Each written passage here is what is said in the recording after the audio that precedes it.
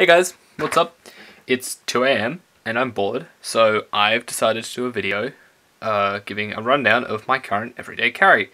Um, specifically focusing on what's what I'm wearing and what's in my pockets, not really touching on like backpack carry. Um, to begin with, uh, in no particular order, let's start with my wallet. Now, my wallet, apart from regular credit cards and stuff, consists of this tool, which I have been using for only about two weeks now. Uh, I'm not really going to go over it too much here because I released an entire video on it like two days ago. Um, but what I'd rather talk about is this pair of tools that I used for, well, this one in particular. This is this is my my faithful Swiss card that I carried for what six or seven years I think I got this when I was 13. Um, and that's been in my wallet. I think same wallet even.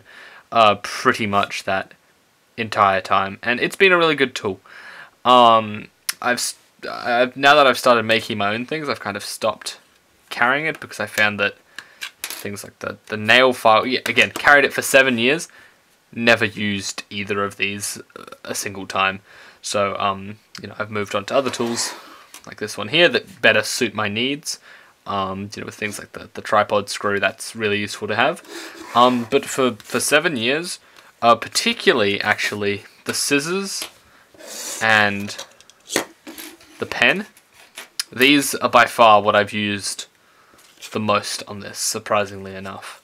Um, but you know, uh, you, you, know, things you move on, and you you change things around. So well, this was good. It, it still is good. I, know, it's still a great tool. Um, I'm, I'm trying out some, some new things at the moment. Um, apart from that, um, someone told me these were lucky. I can't remember who. I can't remember when. But I've also had this Black 8 in my wallet for some years. Next up, let's do keychain.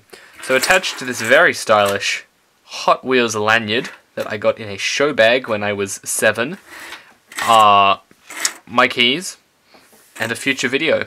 Um, so I've had this made for about three months actually, and I've just never gotten around to fully shooting the video, but this is a little ferro rod I've designed, so that should be coming up soon.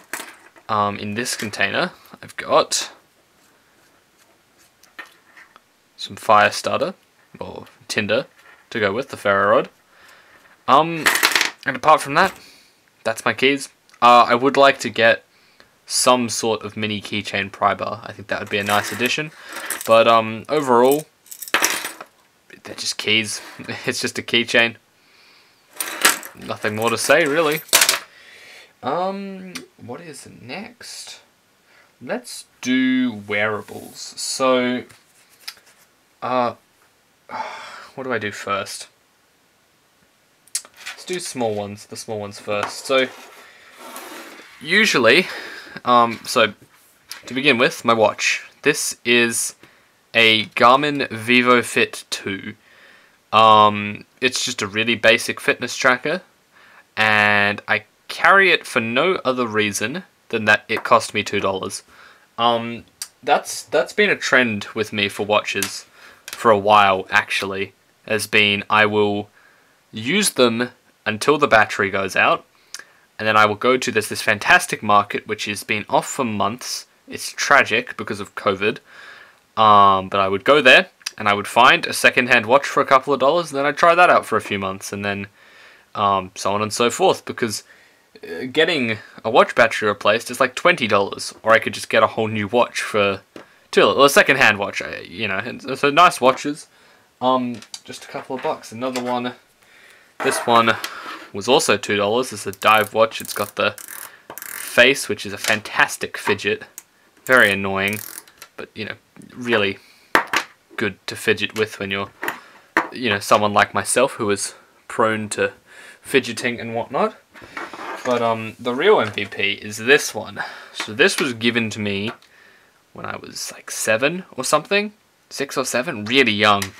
Um, and you know back then it's like you got a watch for my birthday lame um, but between the ages of um, I don't know, probably 12 and 18. This was this was my daily watch. I wore this day after day after day, replaced the battery a bunch of times. Um, and then yeah, I just kind of stopped using it. I moved on to other things. It's pretty beat up, as you can see. The face is very weathered and worn. It still works, um, but I've also kind of outgrown it a bit. It's a very, it's a pretty small watch on me. But um, yeah, definitely a very sentimental piece. Apart from that, um, this wristband, this little bracelet. I have worn this for probably three years, daily.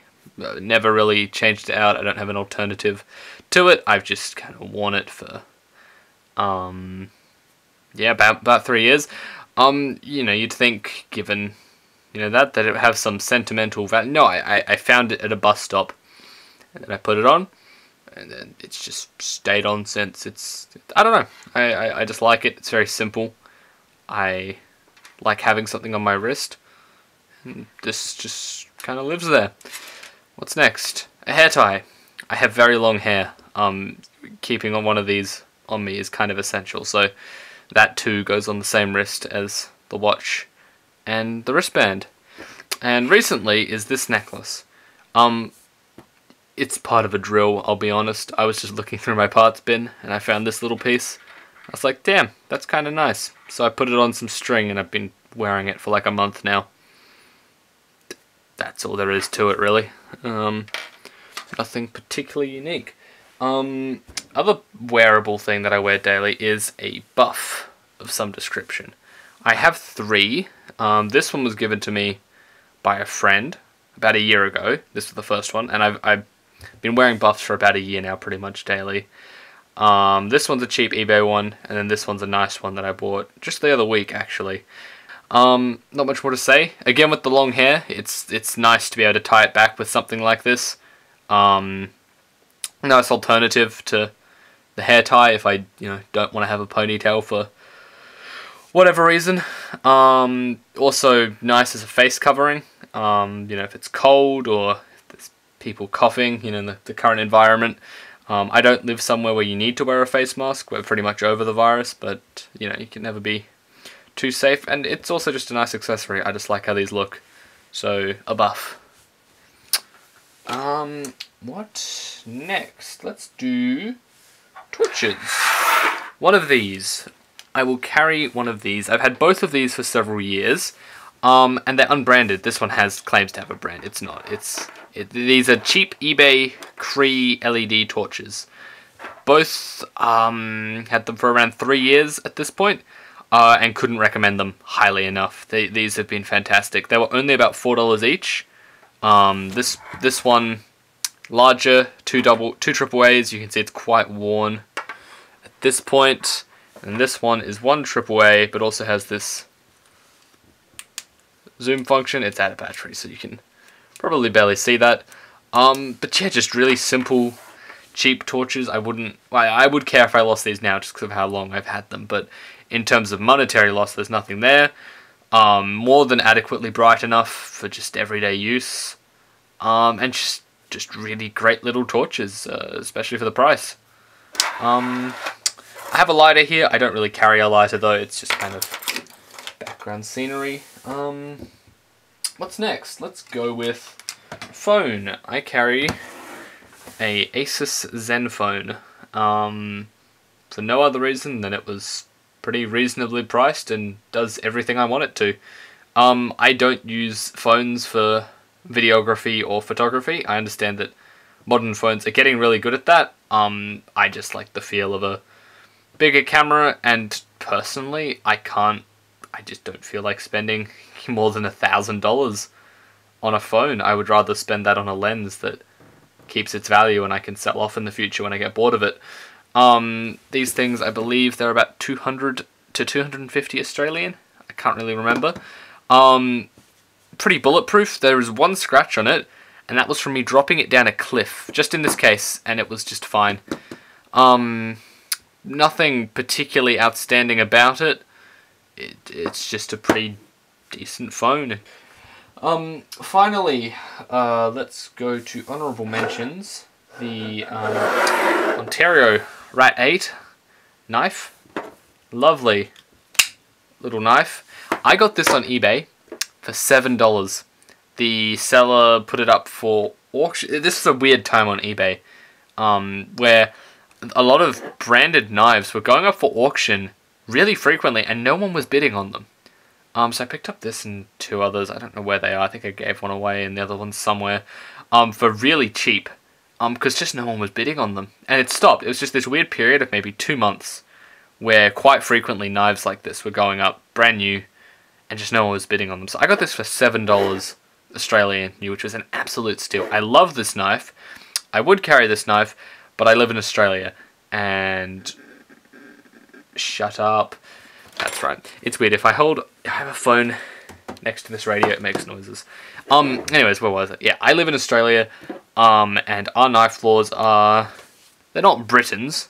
Um, but I wouldn't carry this in town. And uh, to be fair, I don't need to carry this in town. Uh, you know, if I'm just at uni or whatever, I don't need this. I, I'm going to be honest here. This will suffice for, you know, anything I need this for, which is pretty much opening packages. I don't know. I've never come across a situation where I've been like, damn, if only I had a full size knife in my day to day life, anyways. When I am um, camping or in the workshop or doing any any activities that involve making or that are likely to involve making, then I'll carry something like this. But not I wouldn't say it's part of my everyday carry. It's not like I bring this, you know, with me wherever I go every day type of thing. Because I just I just don't need a knife this big you, most of the time. Or I haven't yet to come across a uh, you know a, a time when I need something like this. But um yeah, a fantastic piece. I lost the thumb stud. It's just a bolt at the moment. Um, but yes, honorable mention because I really love this knife. Um, let me see. Anything else that I have laid out here? Checking notes. Uh, I do carry a pair of headphones. I they're they're you know cheapo five dollar headphones, earphones. There's nothing special about them. I'm I'm deaf, so audio quality isn't something that I particularly care about. Um, so yeah, just cheap headphones. Um, nothing particularly special there. Well, that was a 16 minute video. Um, I highly doubt anyone's still here, but if you are, thank you so much for watching. I, I hope this was enjoyable background noise to you, or maybe introduced you to um, some gear that you did not know of otherwise.